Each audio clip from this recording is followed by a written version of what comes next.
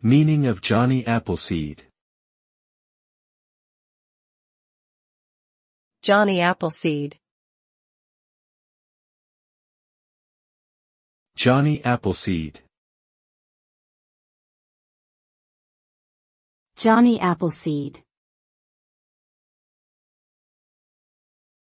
Johnny Appleseed. Johnny Appleseed is a nickname given to John Chapman, an American pioneer nurseryman who was known for introducing apple trees to various parts of the United States during the early 19th century. He traveled on foot and planted apple tree nurseries in several states, including Ohio, Indiana, and Illinois. His story has become part of American folklore and is often retold as a symbol of conservation, generosity, and frontier resilience.